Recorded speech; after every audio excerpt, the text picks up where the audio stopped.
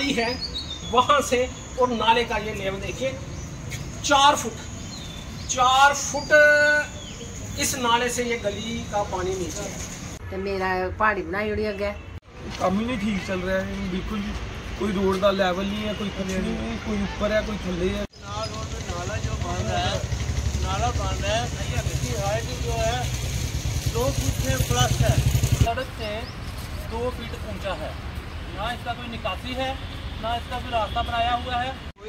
राजपुरा शक्ति नगर के केनार रोड की तरफ़ से जो यूईडी के द्वारा जो एक नाले का काम चल रहा है यहाँ के मोहल्ले के लोग जितने भी स्थानीय निवासी हैं, उन्होंने बहुत रोष जिताया, क्योंकि ये जो नाला है, ये स्थानीय जो हमारी रोड है, हमारी गली है, उससे दो से ढाई फुट ऊँचा है। अब किसी से पूछा कि भैया ये दो ढाई फुट पहली बार देखा कि सड़क लेवल से और जो गली लेवल है, जहाँ से पानी आता है, वहाँ से ढाई फुट ऊँचा नाला रखा है। और पूछने पे ये पता चलता है कि इसको ऊँचा इसलिए रखा है कि जब पानी का ज़्यादा फ्लो हो तो ये ऊपर से निकल जाए। भैया, जब पानी का फ्लो होगा तो वो पहले गलियों में जाएगा, लोगों के मकानों में जाएगा, सड़कों में जाएगा कि नाले से आगे जाएगा?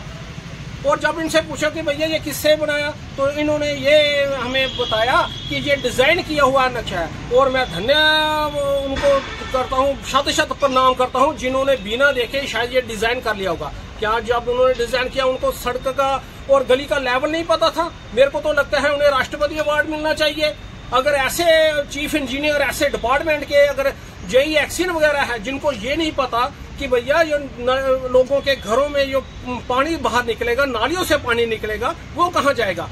मोहल्ले में नाले तो सड़कों पे इसलिए होते हैं कि गलियों का पानी, लोगों के गलियों का सारा पानी नाले में जाए और आगे चला जाए। पर यहाँ तो उल्टा ही हो रहा है। आप देख रहे हैं कि ये जितना भी नाला है, सारा कम से कम दो ढाई फुट ऊँचा बनाया है, जो हमारा लेवल है।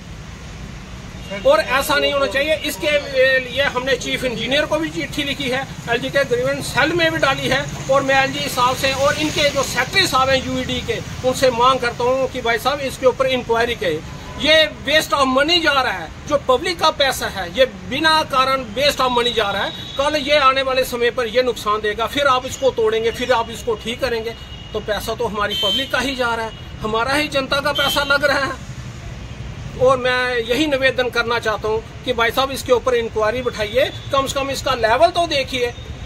500 मकान है, जिनका पानी यहाँ से जाता है, पर आपने ये नहीं देखा। सड़क के लेवल से और मकानों के लेवल से और जो नालियाँ हैं, गलियाँ हैं, उनके लेवल से